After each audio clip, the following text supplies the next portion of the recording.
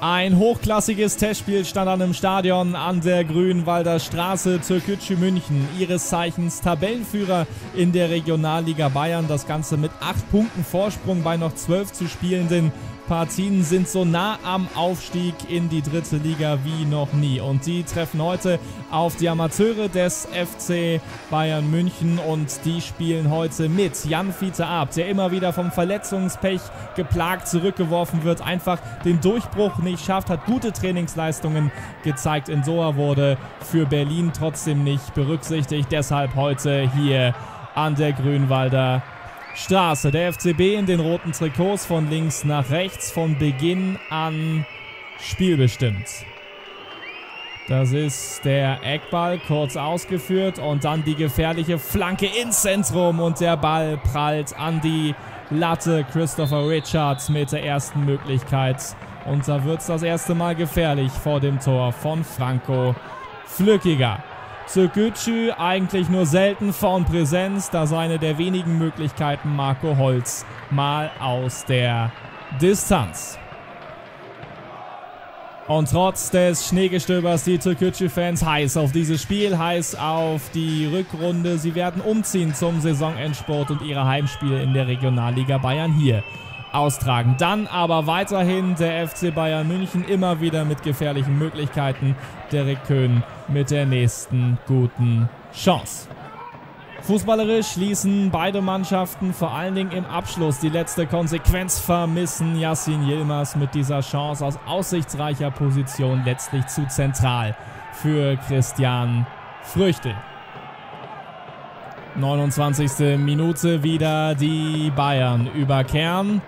Toller Steckpass auf Jan Fieter. Der ist mal frei durch vor dem Tor von Franco Flückiger.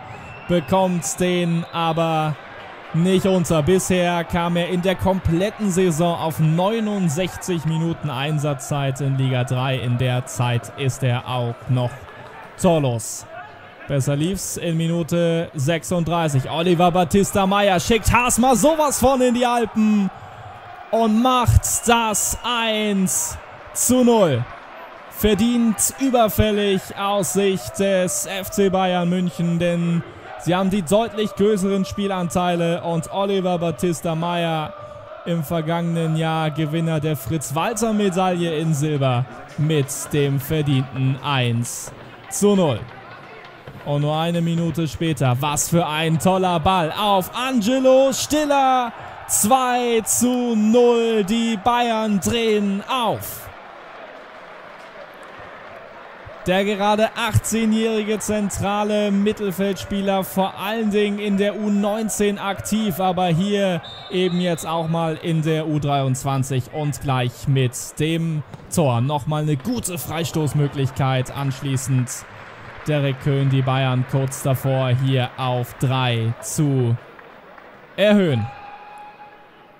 Kurz vor der Pause, dann das doch ein seltener Anblick. Türkücü vor dem Tor und im Grunde genommen das mit ganz, ganz viel Symbolik ausgestattet. Wenige Offensivaktionen zur Pause, dementsprechend verdient 0 zu 2 für den FCB.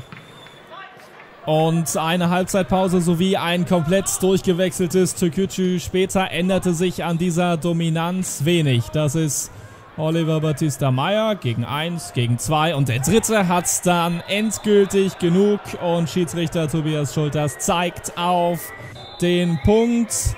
Timo Kern führt aus und Timo Kern führt richtig gut aus. 0 zu 3 für die Bayern. Zweimal hat er schon getroffen in dieser Saison, jedoch nicht vom Punkt, sondern per Kopf. In der Folge neutralisierte sich das Spiel, wenn es Chancen gab, dann vor allen Dingen auf Seiten von Türkgücü per Eckball, wie hier beim Abschluss von Ilker Yüskel. Kurz darauf der zweite Versuch. Der wird nicht entscheidend geklärt und so kommt Furkan Sorba an den Ball. Der bringt den in Richtung Kasten. Alexander Sorge fällt den dann ab und somit steht es nur noch 1 zu 3 aus der Sicht von Türkgücü. Sehen wir hier, der Ball wird nicht entscheidend geklärt. Abgefälscht auf Früchte, hat noch seine Fingerspitzen im Spiel. Die Atmosphäre trotzdem wirklich richtig gut. Die Zuschauereinnahmen werden ja einem wohltätigen Zweck gespendet. Dann nochmal die Bayern über Köhn und über Maximilian Welzmüller mit der letzten Chance der Partie. Das war's. 1 zu 3 am Ende für die Amateure des FC Bayern München, für die es am kommenden Sonntag ja richtig heiß hergeht im Derby gegen die Spielvereinigung Unterhaching. Für Türkücü geht es erst Anfang März bei Augsburg 2 mit dem Pflichtspielbetrieb wieder los. Vielen Dank fürs Zuschauen. Wenn euch dieses Video gefallen hat, schenkt uns einen Like und kommentiert dieses Video. Um kein Video mehr zu verpassen, abonniert unseren Kanal oder ladet euch einfach die KickTV App herunter. Vielen Dank fürs Zuschauen.